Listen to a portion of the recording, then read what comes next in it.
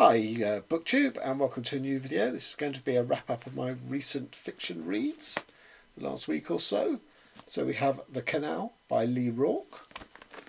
We have The Largesse of the Sea Maiden by Denis Johnson.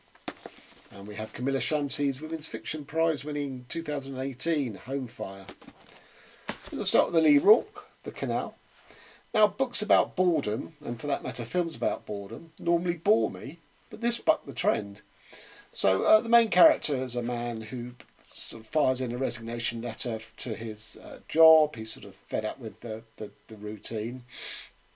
And he goes and spends most of his day uh, sitting on a bench by a canal in North London between Islington and Hackney, I think, uh, where he sort of stares at the bird life. He stares at the litter and the graffiti. He stares at the planes overhead. He seems to have a great knowledge of, of airliners. And uh, he watches a few sort of passers by, including a gang of four youths. And uh, he stares at uh, a sort of an all glass office building in which he can see through the glass to the, uh, the uh, wage slaves. Uh, although they're modern day wage slaves, they all have computer monitors. Um, and after a couple of false starts where uh, the mad and the drunk come and sit next to him on the bench and sort of hold their own uh, conversations with him that, that, that, don't include him at all, uh, one day this beautiful woman comes and sits next to him. And they fall into a pattern of regular meetings on here, but she's very much in control as to what can and can't be said. She holds all the power. Partly, of course, a sexual power over him, but it's not just that. And he notices uh, that one of the things she does is she's staring at the office building uh, as much as, as he does, but she seems to be watching or one particular person uh, in particular. And gradually, sort of uh, event events move on. But I th- what I found really interesting about this book was was the attitude of the woman, because they both felt that admitting that life was boring and one was bored was far more honest than you know sort of trying to um, distract oneself through work through pleasures. But she seemed to take it on uh, to a, a, greater level than he did in that she admitted not admitted well yes admitted i suppose that she had a sort of some kind of sort of attraction to suicide bombers and terrorists because she reckoned what they did, they did out of boredom as well. Only they so sort of recognised the sort of void in their life, and they so rejected that that they wanted to sort of go out in a you know in a sort of terrifying and terrible way. And it's a very interesting psychology. It's not one I'd come across before. A sort of sexual fantasy attraction to to, to that sort of uh, that sort of thing. Um, and that's you know that's you know I'm not going to give a spoiler as to how how how the book builds, other than to say uh, the one thing that uh, I suppose was a slight flaw was that one of the symbols of the sort of regular routine and a sign of beauty, aesthetic beauty in the world, which seems to exist only for itself as a beautiful thing, not something that was of any value outside of its beauty. I knew what the fate of that symbol would become in the book, so I did guess that. Um, but I think what's also interesting is is that the youths. I mean, basically, the youths are uh, as as sort of you know uh, estate youths will be. They're sort of quite threatening and menacing, and uh, unwittingly, the male character manages to sort of provoke an interaction with them in which he doesn't he doesn't come off well. But what I loved about them was the way Rourke had written them. They were like an old-fashioned Greek chorus. It, there were four of them and one would say something and the four would sort of echo it, but slightly the language would be slightly changed. So the sentiment of the of the line was exactly the same as the previous ones, but each one had a slight individuality, and I, I just thought that was sort of great writing, really. So you know, this book was far from boring, although it was a sort of a treatise into modern life and boredom and the things we do to distract ourselves, and the sort of you know, the lack of control we have really over events. So it was a, it was a good read. So next we have The Largesse of the Sea Maiden by Denis uh, Johnson. These were uh, short stories, the last book of his that was published before he died. I was recommended these by Curtis Books and Books, who, uh, amongst other people, had been extolling Johnson. I, I'd never really sort of come across Johnson at all. So I asked Curtis which I should start with by way of introduction, and he said this. And I'm very glad he did. Uh, oh, sorry, I ought to say that was 4.5 stars. Sorry. Uh, this was five stars. And in the post read uh, email exchange with Curtis, he said, "Oh, you know, don't forget to say on this video what you know, which was your favourite story." Uh, and the answer is they were all equally good. I mean, this is just sublime writing. I've had a bit of a downer on short stories this year. I, have sort of avoided them. I started off with Carmen Maria Machado's Her Body and Other Parties.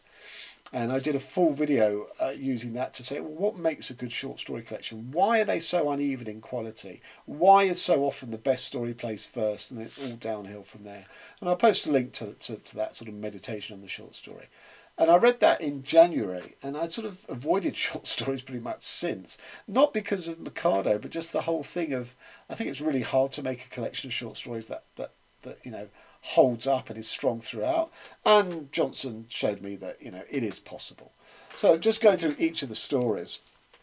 So the first one is called The Largesse of the Sea Maiden, and um, it starts off with a dinner party, and it's that sort of you know free association of ideas as people bounce off each other. It's not they've all broken up into separate conversations. So I'm, ju- I'm just going to read this. Um, we sat around in the living room describing the loudest sounds we'd ever heard. One said it was his wife's voice when she told him she didn't love him anymore and wanted a divorce. Another recalled the pounding of his heart when he suffered a coronary. Tia Jones had become a grandmother at the age of 37 and hoped never again to hear anything so loud as her granddaughter crying in her 16 year old daughter's arms. Her husband Ralph said it hurts his ears whenever his brother opened his mouth in public because his brother had Tourette syndrome and erupted with remarks like, I masturbate, your penis smells good in front of perfect strangers on a bus or during a movie or even in church. and so simply and economically has Johnson given a, a sort of a, a tableau of these different character types, and the rest of the story is their sort of interactions and a beautifully touching, poignant ending, which completely uh, I didn't see coming. And what the rest of the story is, it is so they start off talking about you know loud noises, and then the rest of it is, is consideration of silences and quiet quiet, fleeting moments in life, and it's it's just brilliantly written. So that's the first story.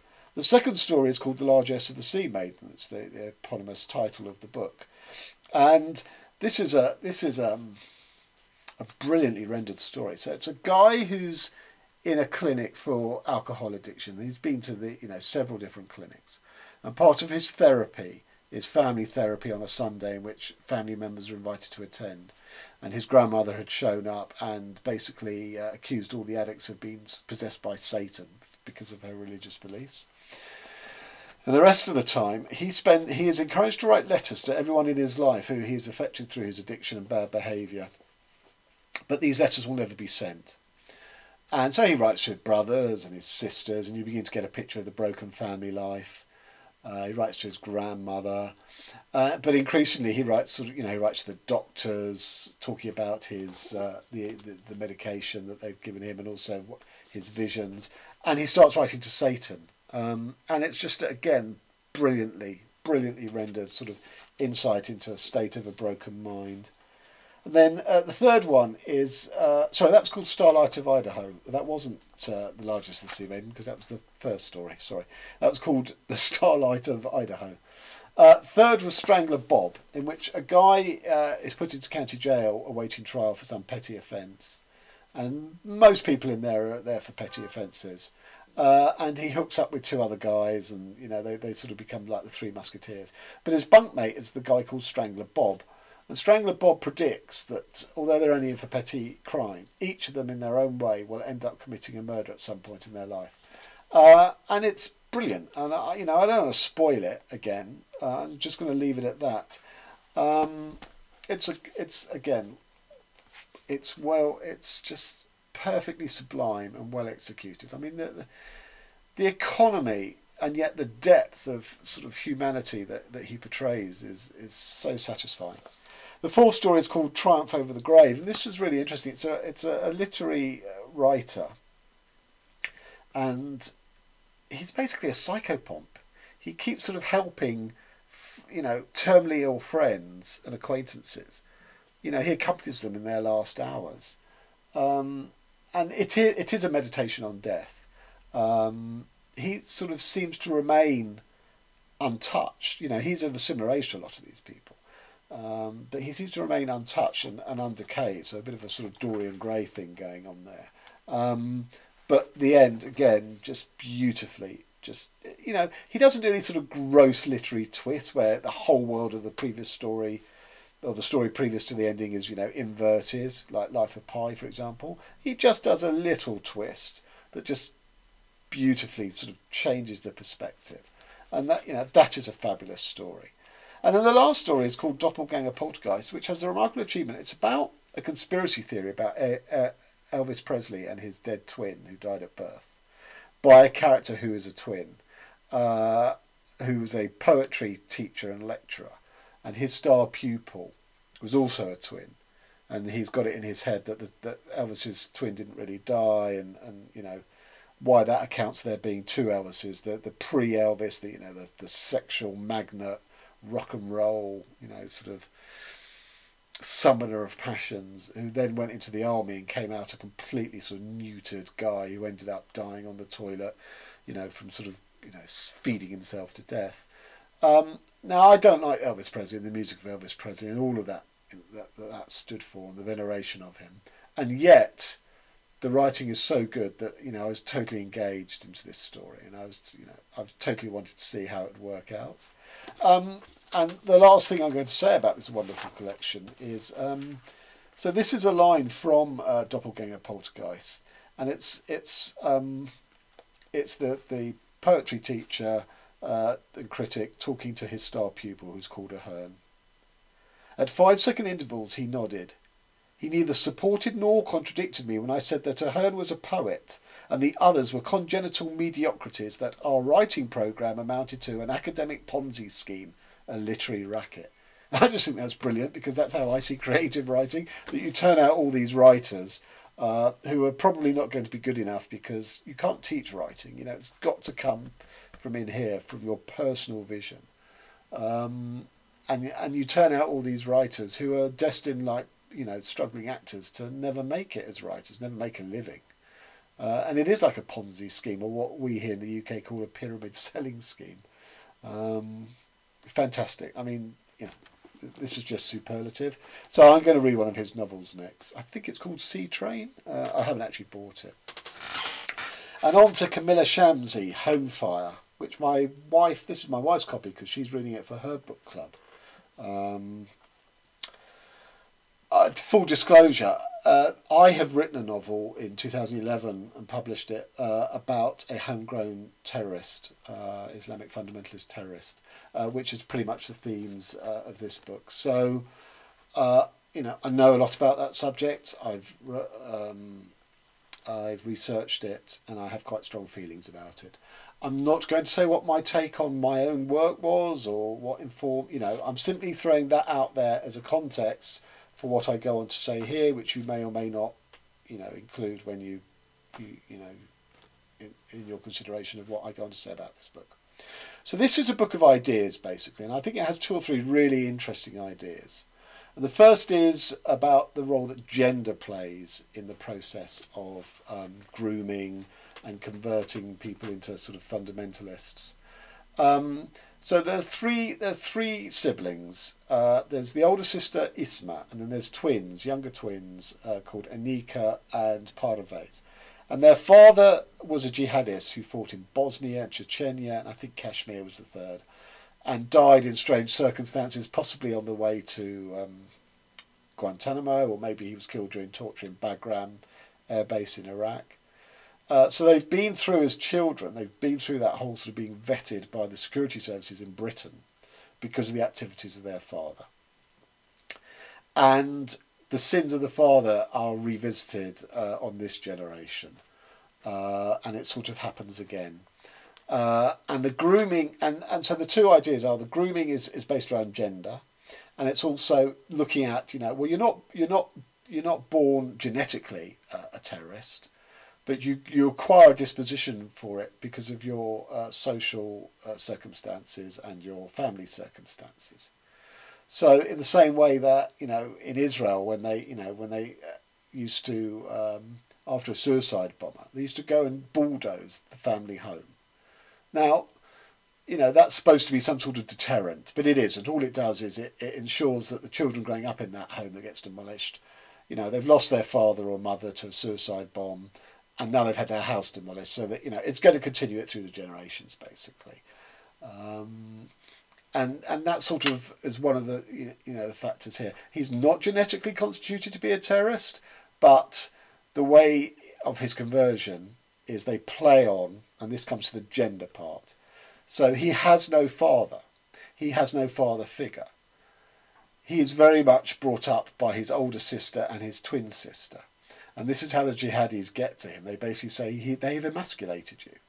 You know, you need to you need to become the hero that your father was. You need to become a man, and that is the appeal that you know that, that they win him over by.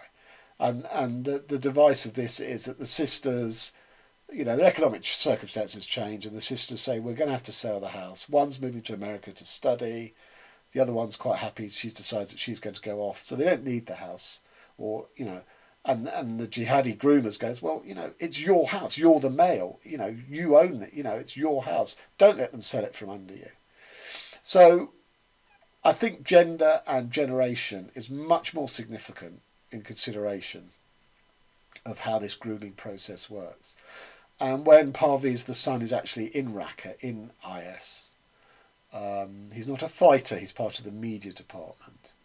Um, so in a way, interestingly, he doesn't sort of become the great hero. He's very much a back a backroom boy. But anyway, he you know the thing that appalls him most about life there is there's no love in it because he realizes the harsh rule of Islamic law that you know fat women are very much second class citizens and you know can't leave the house without a male escort and this whole thing about you know, uh, women's sex slaves and also, you know, choosing bride, you know, Islamic brides and, uh, you know, has to be through the marriage bureau and all that sort of stuff.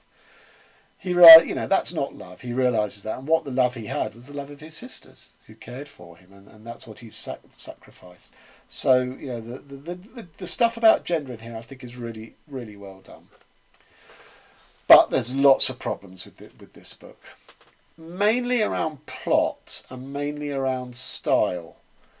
Um, one of the things that, that's attached to this book is that it's a retelling of the Antigone story, the ancient classic Greek play Antigone, and it's in there. Uh, but it doesn't appear until page 190 uh, out of 260, so, you know, well two thirds of the way through. So the whole book is not a retelling of the Antigone story. The Antigone uh, idea or metaphor, which is of a sister who is prevented from burying her dead brother uh, because he is seen to be a betrayer of the country, so they won't give him any land in the country to be buried in. And I think that's brilliantly done in here as an, as an association. Except the sister in here who's trying to bury a, a family member She's not a liter, you know, at no stage has Shamsie suggested that she's of literary bent. Therefore, the references to Antigone have come from the author. They hmm. haven't come from within any of the characters in the book. So it is a strange imposition or association that has no context. So the idea of it is very good because it's that notion of, well, you know, if you're if a citizen declares war on the state that he derives from, such as going to join IS and fighting against the state he's from, is, you know, if he then gets stripped of his original citizenship, he can't be buried there, even though his family is still there living, you know, legal lives and peaceful lives. Um, so as a, as a sort of political idea, that's very strong. But as a literary idea, it's not rooted at all. So that's one of the problems. The second problem is the characters, as I said, so there's Isma, the older sister, who has the first chapter and then almost disappears from the book. Then we have chapters of the two respective twins, the, the Anika and uh, Parvez. And in between that, we have a chapter of a character called um, uh, which is a sort of Irishified, Irishified version of a, of a Muslim name. And he is the son of an ambitious um, Muslim politician who has basically, at every stage of his political career, ditched his sort of Muslim sort of ness to become more English than the English, and periodically will sort of overtly distance himself from anything to do with sort of Muslim life and culture, and has married uh, a non-Muslim, married an American heiress. And Eamon is a is a wastrel to some extent. He's not working. He's he's you know he doesn't have to work. He has lots of money or access to lots of money. And at, early on in the book, his father goes from being an MP to being the Home Secretary. That is someone who has responsibility for all things to do with terrorism and citizenship and visas and foreign travel and all that stuff. You know, Homeland Security in the US. And so Eamon, you know, I think you could probably predict the plot device uh, that revolves around Eamon when his father becomes the Home Secretary. I'm not going to spell it out. I'm not going to spoil it, but it's not, you know, it's not subtle. Um, and he becomes involved with Anika. That, that's all I'm going to say. Um, Anika's a slightly curious character because she is very sexually liberated and very sexually forward. Uh, but she's also you know, quite devout. So her sister um, Isma is, is sort of pious and straight laced and quite spinsterish, whereas uh, Anika is sort of as pious, but much more sort of willing to compromise aspects of it. She picks and chooses, really. Um, but that you know the the problem becomes when and then the final chapter is given to the Home Secretary, the father of Eamon, and the problem is as a study of you know what what lies behind uh, grooming and militant Islam and all this stuff, all that sort of stuff. It's far more interesting when it's ordinary people but when the book becomes about Eamon, and when more importantly, when it comes about his father, the Home Secretary, that's far less involving and engaging because as mere, mere mortals, we can't project ourselves into the in, into the lives of these, you know, so, you know, as bigger than human characters who rule over our fates. And interestingly, this book is dedicated, I think. Uh, yes, for Gillian Slovo who's another author, South African origin but lives in Britain, who wrote one of the worst books I've ever read. It was on the 2011 riots, mainly in London, but sort of uh, throughout England. And she cited that book entirely amongst the Prime Minister, the Home Secretary, and the head of the Metro- Metropolitan Police. There was one rioter made an appearance in the whole book, and he was pulling someone from a burning building, not destroying property and she, you know, that book was about the playing out of, of, you know, of the riots, which were very much sort of grassroots, you know, anger and fury and rebellion and rejection of authority. She ignored all of that, and she went to the high politics of the politicians and their machinations. And this book moves into same territory by the end, and it's much more concerned about that level than what's happening on the ground in these, you know, communities and cities up and down the, the land, where for me the interest is. Um, and I think I think the book misses a trick there. I really do. Um, I'm not interested in some fictional notion of the Home Secretary and you know trying to marry the personal and the political because we can't. You know, it's very hard to do that in fiction because these are sort of slightly larger than life. I'm not going to say they're superheroes because they're pretty morally repugnant. You know, these politicians. It can be done. I mean, Jonathan Freedland wrote a book called To Kill a President, which basically contains Trump and Bannon. But they were not the prime movers. They were only ever sort of referred to by the actions of others. And the protagonist was a was a sort of investigator stroke secret service homeland security person who was much more humble, much more sympathetic for us to view what was going on in this plot to kill the American president. So even though it was about high politics, it was mediated and interpreted by someone much more humble, which the start of this book you think is going to be the same, but actually it isn't at all. It's about Eamon as the son of the Home Secretary, and it's about the Home Secretary. And we lose sight of, apart from the Antigone story, we lose sight of the much more humble and mundane and ordinary people who this book I think should have been about. Um, and then finally, I just want to talk about some stylistic things which really irritated me. So in terms of his, in terms of sort of accuracy, you know, on the one hand, she writes a really interesting line where Isma is is going to America, where she's got a sort of an academic placement, but she's being grilled in the British airport that she's flying out from because of the history of her father being a terrorist. and they're going through all her stuff, and Isma feels sort of degraded and, and sort of says, you know, the fingerprints of the person searching are on my on my undergarments. You think, yeah, God, you know, that that is an invasion too far. But then you think about it: if they're searching for explosives or they're searching for poison in the gusset of her underwear, they'd be wearing gloves, so there will be no imprint. So it doesn't work. So she's managed to undermine what was actually quite a quite an interesting, you know, line.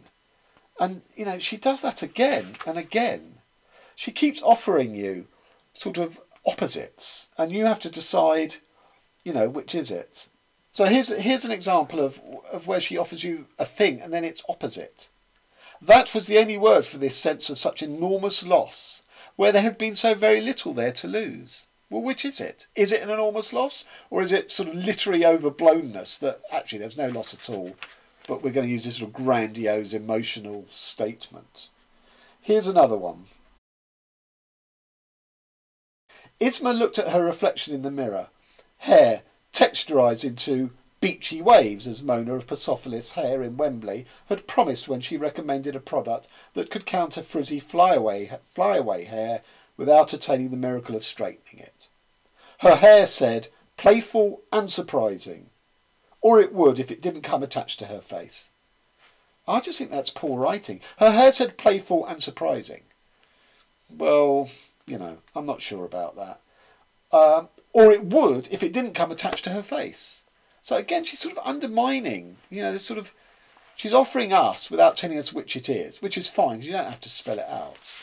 But then she's sort of undermining it with a sort of over explaining it. You know, I offer you this metaphor, playful hair, surprising hair, but actually it was neither. I just don't think that works. Um, and then she talks about, you know, the meaningful of sort of saying prayers or hearing prayers. This rocking motion that accompanied her prayers was her grandmother rocking her to sleep, whispering these verses to protect her. Uh, at first, the words were just a language she didn't know, but as she continued, closing her eyes to shut out the world, they burrowed inside her, flared into light, dispelled the darkness. And then the light softened, diffused, enveloping her in the peace that comes from knowing her own powerlessness. Well, I think that's lovely. I think that's great writing. Straight away, next paragraph. At least that's how it usually worked. But today she couldn't make them anything other than words in a foreign language, spoken out loud in a room that didn't anticipate anyone being out from under the covers at this hour, and so was too cold. So she's given us this beautiful metaphor, this beautiful lyrical, poetic writing about the effect of her grandmother saying prayers to her as a child. And then she's completely undermined it by saying, well, it's not like that today. Uh, and she does this time and time again, and I think it's a really poor device. And then another thing, so the last section of the book sort of, you know, starts to have sort of the media portrayal of the events and Twitter stuff, and she sort of, you know, comes back with, um, you know, imaginary hashtags in reaction to the events. But one of the things she does is a sort of a tabloid newspaper report. Pervy Pasha's twin sister engineered sex tryst with Home Secretary's son. That's the headline. Anika, inverted commas, Knickers Pasha, the 19-year-old twin sister of Muslim fanatic Parvez Pervy Pasha, has been revealed as her brother's accomplice. She hunted down the Home Secretary's son, Ayman, 24, and used sex to try and brainwash him into convincing his father to allow her terrorist brother back in England. Knickers kept her true identity hidden from her lover until hours before her twin brother was fortunately killed while trying to enter the British consulate in Istanbul, etc., etc., etc. Okay, now that is obviously a jaundiced, politically biased portrayal of events. The book is more subtle than that. It gives other versions according to who the character is, you know, of of what these events, what actually lay behind these events. But you know, tabloid newspapers sort of send themselves up. So to sort of send up a tabloid sending itself up doesn't add any value, doesn't bring any value. You know, we could imagine how it would portray. You probably just need the, the headline, which was Pervy Pasha's twin sister engineered sex tryst with Home Secretary's son. And you didn't need, she didn't then need to do the exercise of what that article might look like. And again, this brings me to, to an overall flaw of she's got these great ideas, and the Antigone vehicle sort of works, but it's not the whole novel. But ultimately, the characters represent positions. The three siblings represent different versions of Islam. The Home Secretary represents another uh, version of of turning your back on Islam. So you know, so fundamentally to become more British than the British, as it were.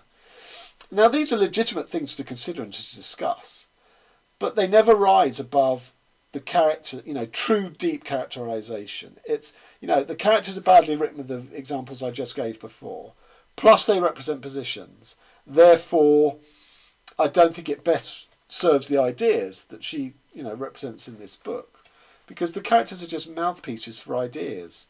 They're not real in deep characters, in depth characters. Um, that's why I think the, the book fundamentally fails, and I gave it sort of two and a half uh, in the end, which, you know, it's a prize winner. It should be better than that. Um, do I need to say anything else? Oh yes, so just again as a final example of, I think quite quite sort of disappointing writing really. Grief manifested itself in ways that felt like anything but grief. So again, this sort of it's this, but it's the opposite of this, which, as I say, she does a lot. Grief obliterated all feelings but grief. Same again. Grief made a twin wear the same shirt for days on end to preserve the morning on which the dead were still living. Grief made a twin peel stars off the ceiling and lie in bed with glowing points adhered to fingertips. Grief was bad tempered. Grief was kind. Grief saw nothing but itself. Grief saw every speck of pain in the world. Grief spread its wings large like an eagle. Grief huddled small like a porcupine. Grief needed company. Grief craved solitude. Grief wanted to remember, wanted to forget. Grief raged. Grief whimpered. Grief made time compress and contract. Grief tasted like hunger, felt like numbness, sounded like silence. Grief tasted like bile, felt like blades, sounded like all the noise of the world. Grief was a shapeshifter, and invisible too. Grief could be captured as a reflection in a twin's eye. Grief heard its death sentence the morning you both woke up, and one was singing and the other caught the song. Again, you know, these are just binary opposites that grief, you know, all she needed to say, and she does say it, I think this is a really well, you know, great crafted phrase, you know, grief was a shapeshifter and invisible too. And she doesn't need the rest. Let the reader imagine the rest. You know, you've said it in that. But by spelling it out, it's really clunky and it's full of binary contradictions, and it doesn't work. Um, I, I, I was really disappointed in this. You know, I kept reading. I thought, what, "Where's the Antigone bit?" And you know, by page 190, it starts. I thought, "Oh, okay," but that seemed to be a different. The whole book had been building up to that, but the, what had come before seemed some curiously detached from it because um, it was all about the sort of the, the family relations building up to why the sister. Well, she's a twin, and yes, she had a deep relationship with the brother, um, and all the rest just seemed to be sort of leading up to that, but in a sort of clunky, overstated way. Um, and as I say, there are good ideas in here, but they're not best served by a rather transparent scaffolding of, of how she uses these characters, how she tries to give them depth by saying they're this, but they're also the opposite of that, or in their reactions to something that's happened or something that's said. Uh, you know, when when Isa is talking to to to Eamon because she meets him before Aneeka does, and there may be something going on on a sort of sexual level, but neither of them ever act on it. So she goes, "Well, he's this, but you know, he also makes me feel that," and it's just it's not good enough. The writing's not good enough to get to page 119, which is where it gets interesting. And where it gets interesting in Antigone, and then you have all this sort of, you know, faux media stuff, which is really quite poorly done, quite caricaturely done. Um, it's a hodgepodge. You know, there's a good book in here, but it's not the book that's been written. Um, so there you have it. Those are the three books that I talk about. Lee Rourke, The Canal. Denis Johnson, The Largesse of the Sea Maiden and Kamila Shamsie, Home Fire. Okay, thanks very much. Till next time.